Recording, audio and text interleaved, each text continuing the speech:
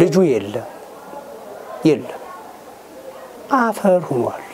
መሳሪያ ስለሌለ አሁንም ይሄ ህዝብ እየሞተ ነው ያለው። የጤፍ ዱቄት እንደገና ለብቻ ሽሮ፣ ጨው፣ በርበሬ አድርጋ አምጥታ ሰጠች።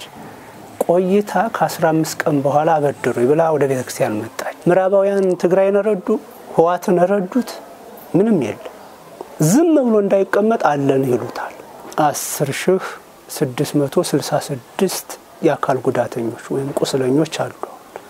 ራሳቸው ምን ነው በሞትኩ ምን ነው ነፍሴ በወጣች የሚሉ አሉ።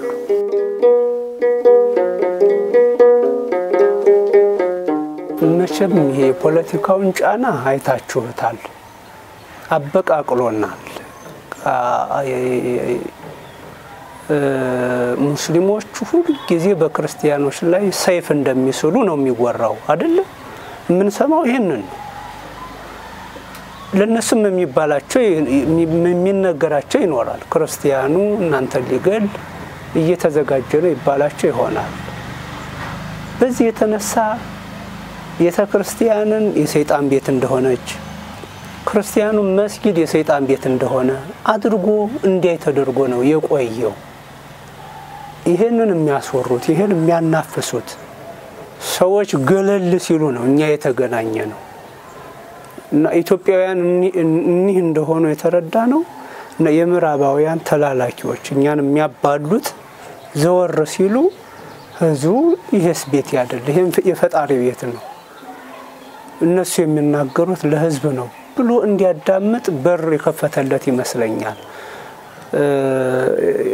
የአጥር መነሳቱ የአደንበር መነሳቱ ፖለቲካው ያስቀመጠው በመነሳቱ ነው የተገናኘ ነው። ምናልባት ያ ባይኖር ኑሮ ላንገናኝ እንችላለን። አሁን እግዚአብሔር ይመስገን እውነት እንደው ሌላው የማጽናናቱ ስራ ሌላው ሌላው አሁን የበጀቱ ጉዳይ አሳስቦን እንደው ወደዛ ስራ ገባን እንጂ አሁን ህዝቡን እንደተገናኘ የማበርታቱ ግንኙነቱን የማሳደጉ ስራ ቢቀጥል እንዴት እንዴት እንዴት እንሆን ነበረ። ብቻ ግን ጥሩ መሰረት ተጥሏል። አሁን ተመልሰን የምናደርገው ይሆናል።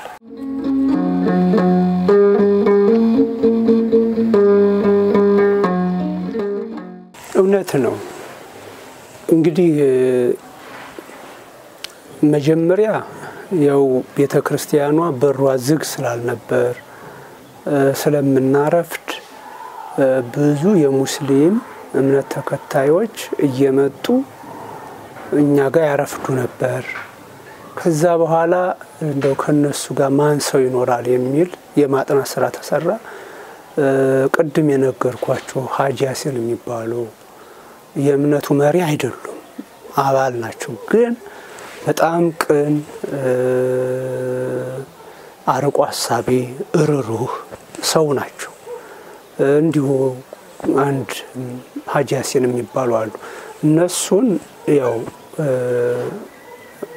ፈልገን አባ ኃይለ ገብርኤል ፈልገው አገኟቸው። ከዛ በኋላ ያው አብሮ ለመስራት የታሰረንም ለማስፈታት የታመመንም ለማሳከም የወደቀን ለማንሳት ምክክር ተደረገ። በዛ መልኩ እንደ ቤተ ክርስቲያን ስንነጋገር እንደምታውቁት አሁን እዚህ አካባቢ እድሮች እየራሳ የሙስሊም እድር የክርስቲያን እድር ተብሎ የተከፈለ ነው። አዲስ አበባ አንድ ነው፣ የክርስቲያኑም የምኑም እዚህ ላይ እየራሱ ነው። ስለዚህ አሁን እንደ እድር ስናወያይ ሙስሊሞችን አናገኛቸውም። ስለዚህ ምንድን ነው መደረግ ያለበት? በእነሱ መስጊድ በኩል የእነሱን እድር ማግኘት በቃ ለሚያስፈልገው መመሪያ ስንሆን ምክንያት አትስረቁ ስንል ይሄ መመሪያ መውረድ አለበት ሁሉም ጋር። ያን የምናገኘው በእነሱ መሪዎች ነው። ሮንድ እንደር ብለን እናውጃለን። ሙስሊሙ ማህበረሰብም ሮንድ እንዲወጣ ከክርስቲያኑ ጋር አብሮ እንዲጠብቅ ከተማውን በኒህ ሰዎች ነው ማቅረብ ያለብን። በዛ መሰረት እነሱ ፈለግናቸው። በጣም በቅንነት አብረው አብረውን የሚሰጠው መመሪያ አብረን አብስለ ነው እናወርዳለን፣ ተቀብለው ያደርሱታል። በተለየ መልኩ ነው በእውነት ያለምንም እንደው ምናልባት እኮ አሁን በሙስሊሙና በክርስቲያኑ ደግሞ ልዩነት ተፈጥሮ ቢሆን ደግሞ የእልቂቱ መጠን ይጨምር ነበር። ግን ምንም ክፍተት የለም። ክርስቲያኑ ሙስሊሙን ጠብቆ፣ ሙስሊሙ ክርስቲያኑን ጠብቆ ነው ይሄ በአንዳንድ አልባሌ ሰዎች እንኳ ሲፈጠሩ ሙስሊምም ሆኑ ክርስቲያን ሽማግሌው አብሮ እነዛን ለመምከር ወይም ደግሞ ለማግለል አንድ ነው የሚሆነው እና በዚህ መልኩ በጣም ተናበን እግዚአብሔር በሚከብርበት ሁኔታ ነው ይሄድ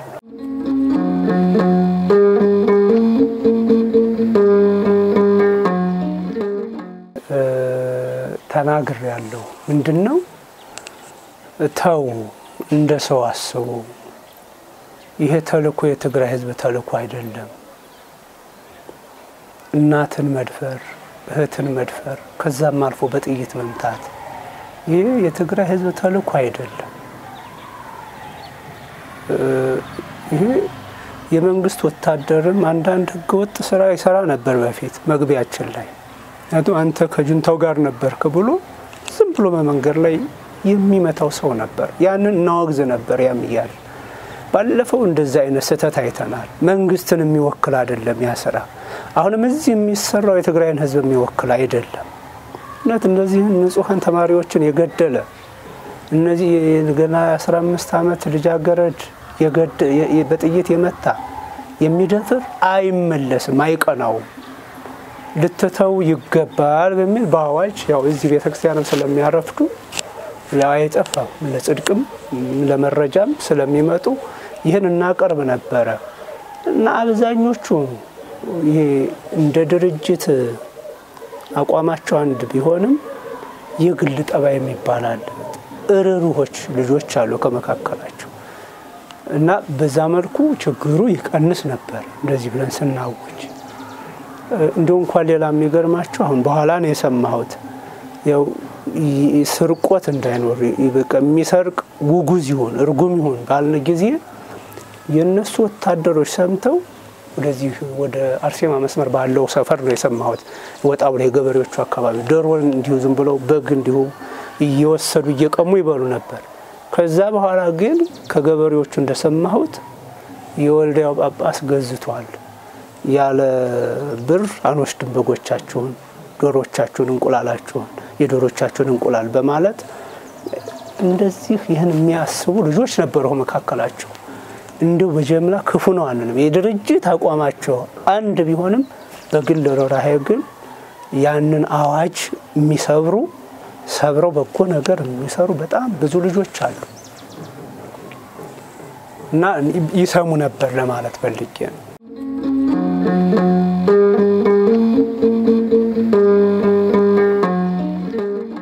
እንግዲህ ብዙ አይነት ነገር ነው ጥሎብን የሄደው ይሄ ጦርነት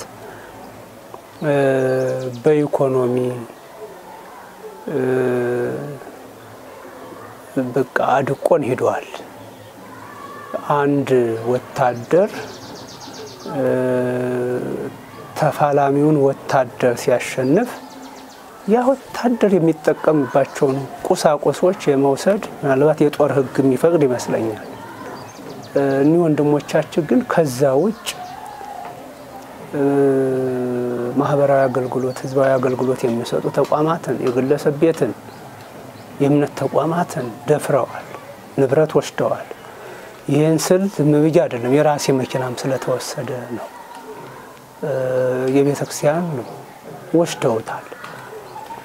በዚህ አይነት መልኩ ያው ንብረት አልቀረም። በተለይ የትምህርት ተቋማት፣ የጤና ተቋማት ባዷቸውን ቀርተዋል እና ህዝባችን በዚህ አምስት ወር ውስጥ በጦርነቱ ከጦርነቱ ጋር ተያይዘው በመጡ ነገሮች ሙቷል። ያ ብቻ ግን አይደለም። አሁን ቀጣይ እየሞተ ነው በዛው ጦስ የተነሳ ምክንያቱም የጤና ተቋማት ባዶ ናቸው። ስለዚህ አሁን ሰው ታሞ አይድንም። ሕክምና መስጫ መሳሪያ የለም። ባለሙያዎቹ ቢኖሩም ግድግዳው ቢተርፍም ግን መሳሪያ ስለሌለ አሁንም ይሄ ህዝብ እየሞተ ነው ያለው። በጣም የማይቆም ሞት አለ ማለት ነው።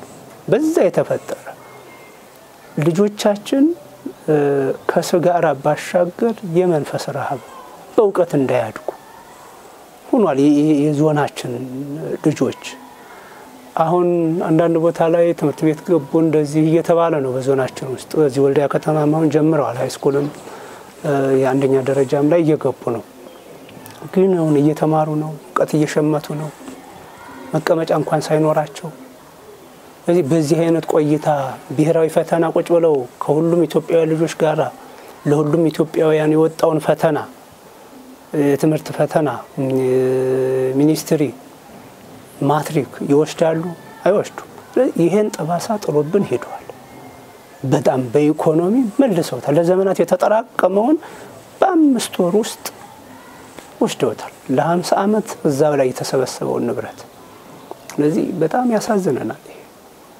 ምንም ንብረት የሚባለው ተመልሶ የሰው ሕይወት የሚፈትን ንብረት ለሕዝብ ነው ለሕይወት ነው መቼም ሕይወትን ለማቆየት ነው እና ሕዝቡ አሁንም ቢሆን በጣም እየተጠቃ ነው ያለው ከዚህ የተነሳ ሌላው የስነ ልቦና መጎዳቱ ያልጠበቀው ነገር አይኑ እያየ ሚስቱ የተደፈረችበት ልጆቿ እያዩት በልጆቿ ፊት የተደፈረች እናት ምን ይሰማቸዋል?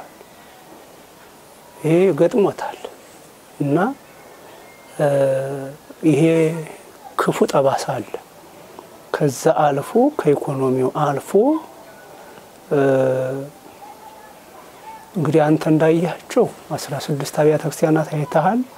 እስካሁን ባለን መረጃ የጉዳታቸው ደረጃ ቢለያይም ሰማንያ አራት አብያተ ክርስቲያናት ናቸው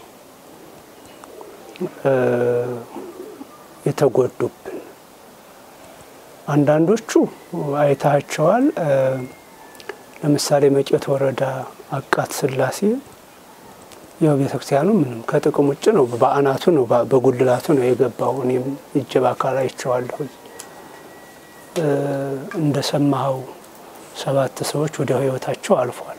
የህይወታቸው ማለፍ ብቻ አይደለም፣ እንዴት አጽም እንዴት ተሰብስቦ ስጋ ቁርጥርጥ ብሎ አጥንት ክስክስ ብሎ ነው ተሰብስቦ የተቀበረው የሰባት ሰው አስራ ስድስት ሰዎች በክፉኛ ቆስለው ምን ነው በሞቱ ምን ነው በሞት የሚባልባቸው ናቸው። አሁን የሞቱት ሙተዋል። አሁን እንዲህ በአሰቃቂ ላይ ያሉት የሚያቸውም ሰውም ምን ነው ቢሞቱ እኮ ነው የሚለው።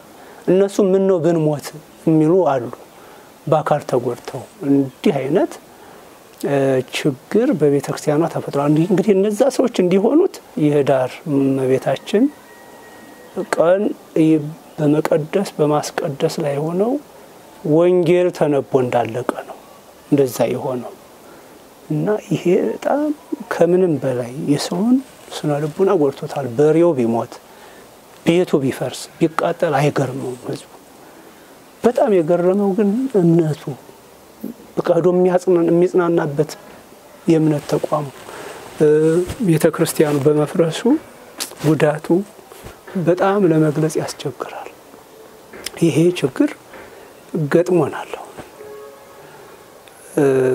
እያያችሁት አንድ ወራጅ ባህር ዛፍ ለመግዛት ዛሬ ከባድ ነው።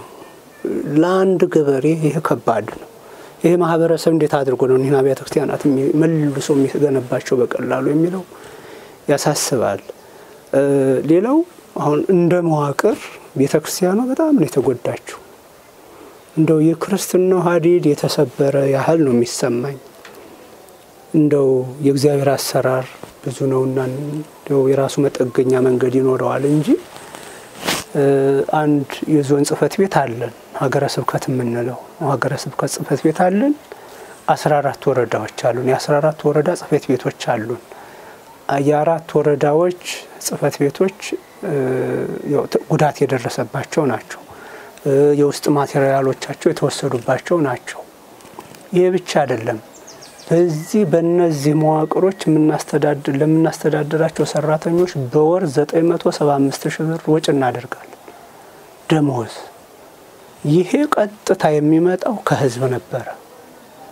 ህዝቡ በስለት በመባ በአስራት በኩራት በቀዳማያት የሚያስገባው ነበር። አሁን ህዝቡ እስከ ጥር ድረስ ሙዳየ ምጽዋት የሚጥለው ነገር አልነበረውም። አርሶ አደሩ አብዛኛው አልዘራም። እንደ ወንደራያ አካባቢ ሳይዘራ ነው ይሄ ችግር የተከሰተበት። መሬቱ ጦም አድሮበታል። ከዚህ ይዞ እስከ ጨጨው ቀጥታ ስንሄድ ያያችሁት የጦር ቀጠና ሆኖ የከረመ ነው። ሰው ዘርቶ ነበረ፣ አላረምም፣ አልተንከባከበም፣ አላጨደም፣ አልሰበሰበም። ከዚህ ይዞ ደግሞ ወደ ደሴ በዚህ በምስራቅ ደቡብ በኩል ስንወጣ ደግሞ እንደዚሁ የጦር ቀጠና ሆኖ የከረመ ነው። በዚህ ምክንያት ከህዝብ አሁን ተሰብስቦ ወደ ቤተክርስቲያን የሚገባ ነገር የለም እና የክርስትናው ሀዲድ የተቆረጠ ያህል የሚሰማኝ ነው። መዋቅሩ የሚቆይበት ነገር የለም እና ይሄንን ትልቅ ጉዳት አድርሷል። በጣም ሰብሮታል ይሄ ጦርነት እና እንዲህ እንዲህ አይነቱን ነገር ሳስበው እንደ ሰው ሰውኛ ያሳስበኛል። የእግዚአብሔር አሰራር ደግሞ ከዚህ ሁሉ የተለየ ስለሆነ በራሱ መጠገኛ ይጠግነዋል ብለን ተስፋ እናደርጋለን። እንደ ሰው ሰውኛው ግን ያሳዝነናል።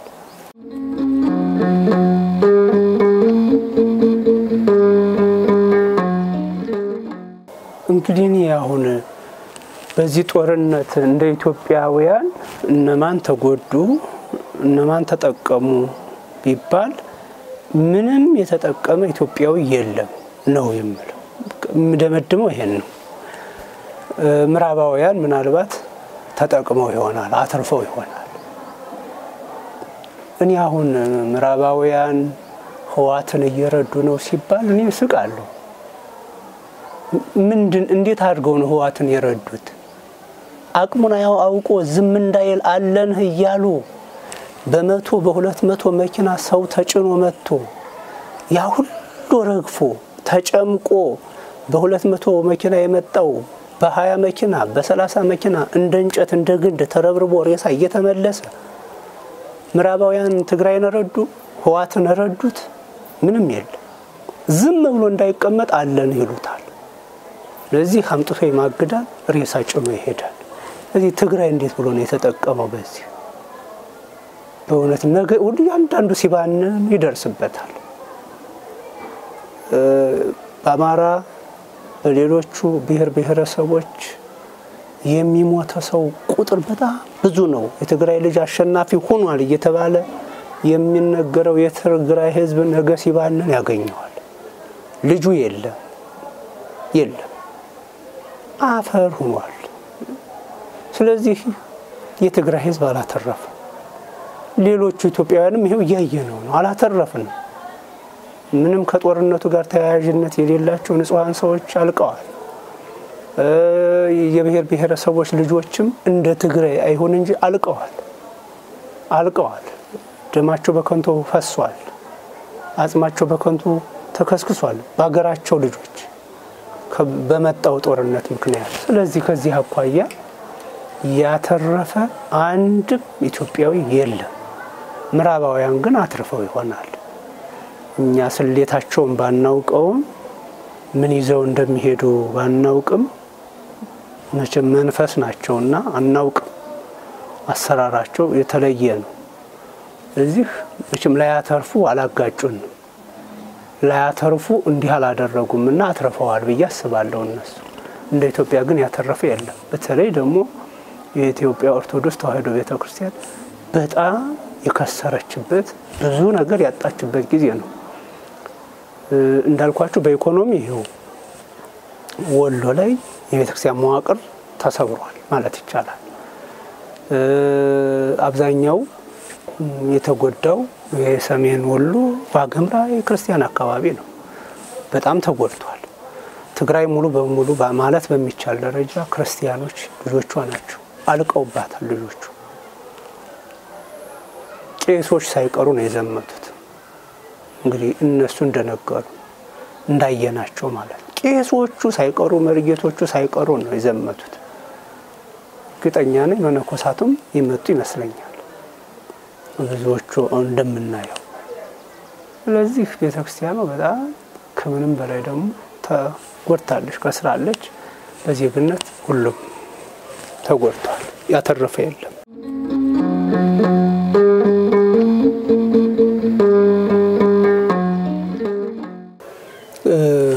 በስልክ ያው እንደምታውቁት ነው። አጠቃላይ ወታደር ሲገባ ያው የውሃም የመብራትም ኔትወርክም የለም፣ አንገናኝም።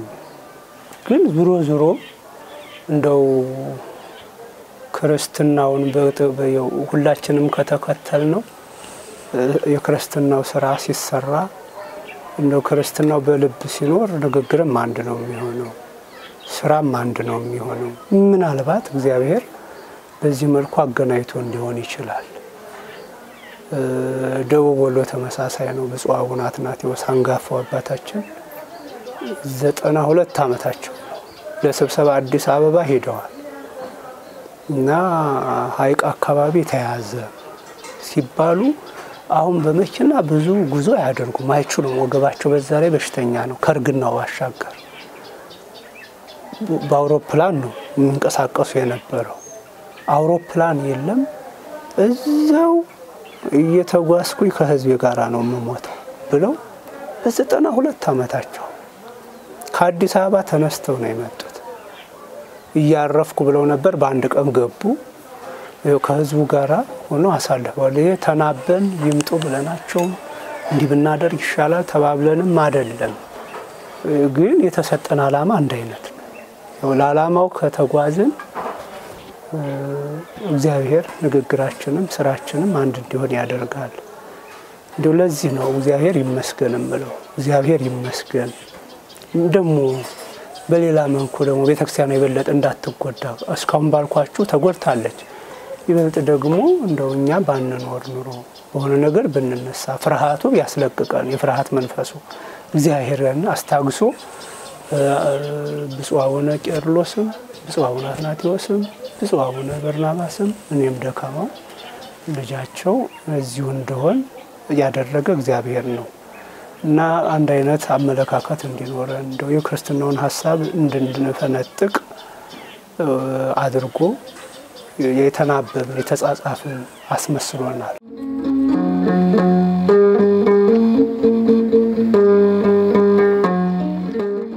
ያው ብድር ብቻ አይደለም የሰጠ ነው። ሁለት አይነት ነገር ነው። ምንም ለሌላቸው የማይመለስ ብለን አምነንበት ነው ወስነን ይህ ጡረታ ላይ ያሉ አሁን በጣም ይችን ሀገር እዚህ ያደረሱ ትልልቅ ሰዎች አሁን ጡረታቸው መቶ ብር፣ መቶ ሀምሳ ብር፣ ሁለት መቶ ብር ነው። እነዚህ ሰዎች ወስደው ብድር ይመልሱ አይባልም። ሌሎች አሮጊቶች፣ የቀን ሰራተኞች፣ ጉልት ላይ ተቀምጠው የሚሸጡ የነበሩ ሰዎች አሉ። ለእነዚህ እንሰጣለን። በብድር ቢሆን እነዚህ ሰዎች እንዴት ብሎ ይበደራሉ? ለዚህ መስጠት ለነዚህ የማይመለስ ብሎ ደግሞ በጣም የተሻለ ኑሮ የሚኖር በባንክ ቤት ሳንቲም እያለው በእጁ ላይ ግን ምንም ስለሌለ አንድ ያደረገው ከሊስትሮ ወይም ጉልት ላይ ተቀምጣ ከምትሸጠው የተለየ ኑሮ የማይኖር ነበር። ለዛ በብድር መስጠት በራሱ የስጦታ ያህል ነው በሚል ከፋፍለን ነው የሰጠ ነው። የተወሰኑ ሰዎች መልሰውልናል። የተወሰኑ ሰዎች ከተበደሩት መልሰዋል። ያው ያንን ተመልሰን ላበደሩን ሰዎች መስጠት ሞክረናል። እንዲሁ በስጦታ የሰጠነውን አሁን እየጨረስን ነው። ልጆቻችን ባህር ዳር አካባቢ እንደዛ ሆነው ሰብስበው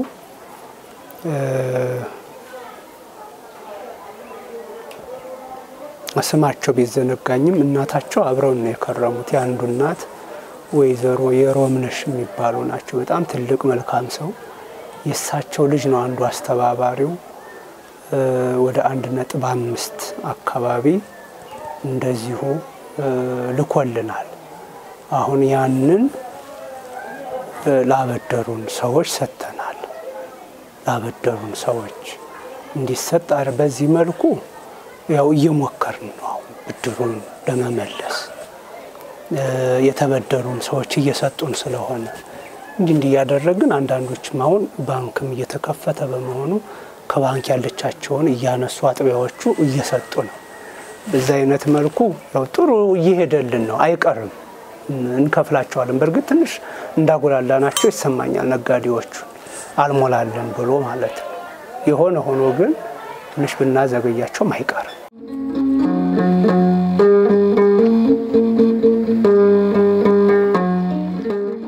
ያው የመንፈስም የአካልም ጉዳት ነው የደረሰብን። ማለት የስነ ልቡና ጉዳት አለ፣ የአካል ጉዳት አለ።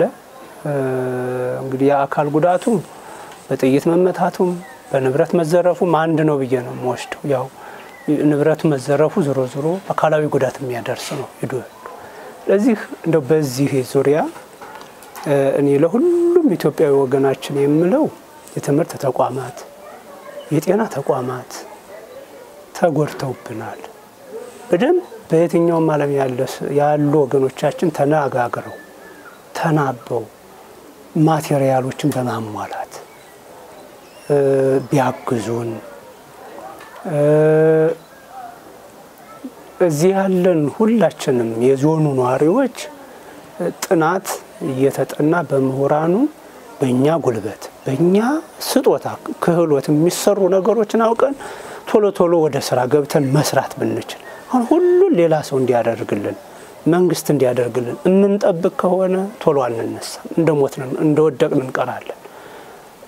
እዚህ ያለነው ይህን ብናደርግ በሌላ አካባቢ ያለው ወገናችን በቁሳቁስ በብር ቢያግዘን መንግስትም የሚችለውን ሁሉ እያደረገ ቢያግዝ የቁሳዊው ነገር ይሟላል። አሁን የአካል ጉዳተኞች በዝተውብናል። እንግዲህ እስካሁን ባለኝ መረጃ ክፍተት ሊኖርበት ይችላል። እንግዲህ የመረጃ አሰባሰባችን ያው በተደራጀ የሰው ኃይል ስላልሆነ አራት ሺህ ሶስት መቶ ሀያ ሰዎች በመድኃኒት እጦት፣ በረሃብ፣ በመሳሪያ ሙተውብናል። አስር ሺህ ስድስት መቶ ስልሳ ስድስት የአካል ጉዳተኞች ወይም ቁስለኞች አሉ በዞናችን በእኛ መረጃ። በተለይ የአካል ጉዳተኞቹ አንዳንዶቹ ሰው ገና ሲያቸው ምን ነው ቢሞቱ ኑሮ የሚባሉ ናቸው። ራሳቸው ምን ነው በሞትኩ ምን ነው ነፍሴ በወጣች የሚሉ አሉ። ጧሪ ቀባሪ ልጆቻቸውን አተው የተቸገሩ አረጋውያን አረጋውያት አሉ። አሳዳጊ ወላጆቻቸውን አተው ያላሳዳጊ የቀሩ ልጆች አሉ። እዚህ በውጭ ሀገር ያሉ ወገኖቻችን አንዳንድ አረጋዊ ቢይዙ አንዳንድ ልጅ ቢይዙ የቤተሰባቸው አባል አድርገው ቢረዱ የጀመሩም አሉ። እስካሁን ድረስ ሰባ አንድ አረጋውያንን ህጻናትን ማለት በጥቅሉ አብዛኛው ህጻናት ሆነው ከዴንበር ችጋኮ የሚባል አካባቢ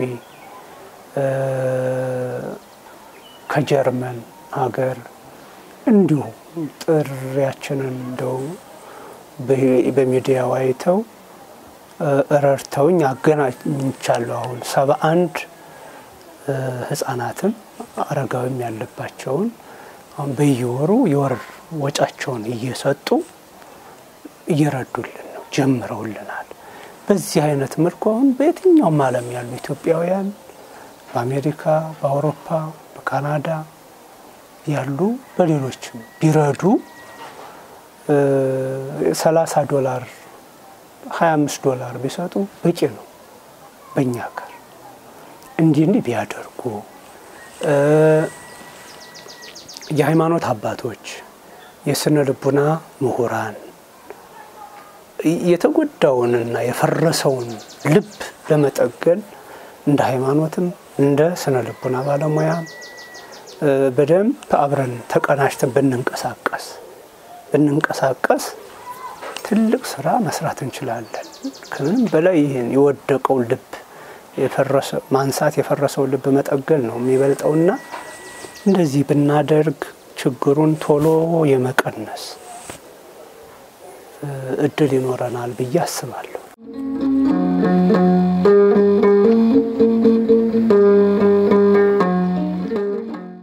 ህንፃ አብያተ ክርስቲያናት እንዲያው ቅድም እንዳልነው እንደ ስነ ልቡናም ጭምር አሁን ሰው በሬው ታርዶበታል፣ ቤቱ ፈርሶበታል። ከዚህ ይልቅ በጣም የጎዳው ቤተክርስቲያን ፈረሰ፣ መስጊድ ፈረሰ የሚለው ነገር ነው። በጣም ህዝቡን የጎዳው።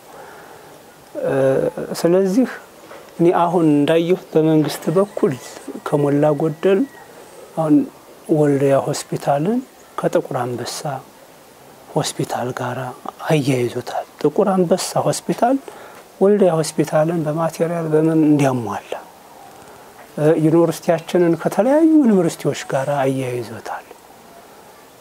እነዚያ የተለያዩ ዩኒቨርሲቲዎች ወልዲያ ዩኒቨርሲቲዎችን እንግዲህ ወልዲያ ዩኒቨርሲቲን እንዲያግዙ አሁን ስድስት ቢሊዮን ወጪ የሚጠይቅ እቃ ነው ያጣው።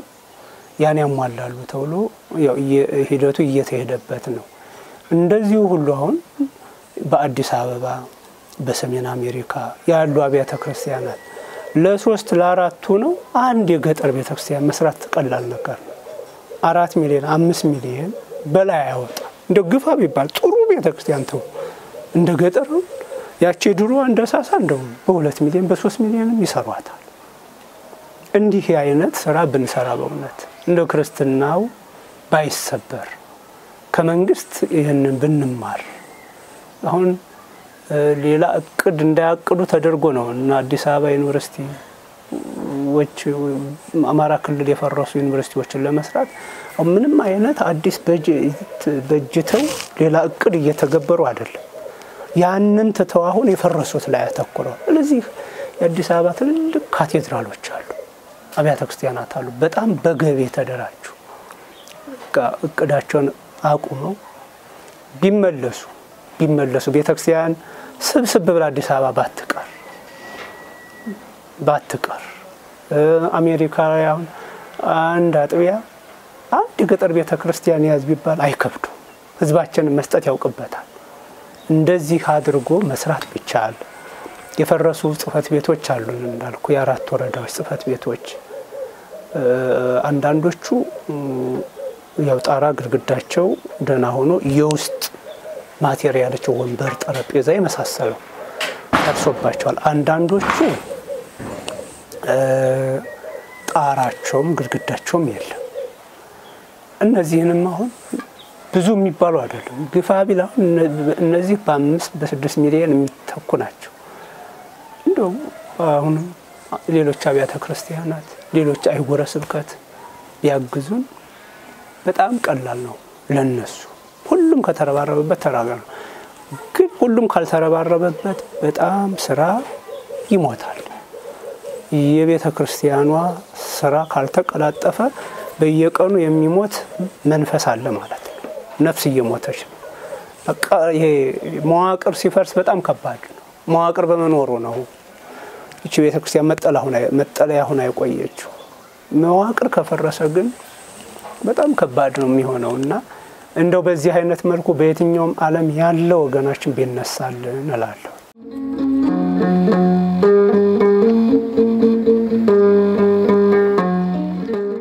በትግራይ ክልልና በፌዴራል መንግስት የፌዴራል መንግስት ስንል ሁሉም ነው፣ ሁሉም ክልሎች ማለታችን እና የትግራይ ክልል መንግስት ከሁሉም ኢትዮጵያውያን ጋር እየተላተመ ነው፣ እየተጋጨ ነው። ይሄ እስከ መቼ ድረስ ነው የሚሄደው? እንደው የአገር ሽማግሌዎች በተወለድሽ ዝም ብሎ እንደ መላክ ቆጥሮ በደለኛን ከማቀፍ በደለኛን ስተተኛን ከማቀፍ ይልቅ ከዛ አስተሳሰብ ወጥተን እውነትን ብቻ ጥግ አድርገን አንተ ልክ አይደለም ተው ብሎ የማስታረቅ ስራ ቢሰሩ የሀገር ሽማግሌዎች በየትኛውም የሀገራችን ክፍል ያሉ በብሔር ሳይለያዩ በቃ ማዕቀፍ ያለባቸው ብሔርን አይደለም፣ ማዕቀፍ ያለባቸው ቋንቋን አይደለም፣ እውነትን ማዕቀፍ ቢቻል ይቆጨናል። ከዚህ በላይ ገና ጥፋት ይጠፋል። የሃይማኖት አባቶች በተመሳሳይ መልኩ በተመሳሳይ መልኩ በቃ የእኔ ብሔር ነው የምንለው ሰው የሚናገረው ሁሉ ሁልጊዜም በቃ ቅዱስ ንግግር ነው። በጣም በሚገርም ሁኔታ ከዚህ አስተሳሰብ ብንወጣ የሚናገረው ነገር ኢትዮጵያን ማዕከል ያደረገ ካልሆነ እውነትን ማዕከል ያላደረገ ከሆነ መቃወም ብንችል የሃይማኖት አባቶች ይቆማል ነገሩ፣ ይሞታል።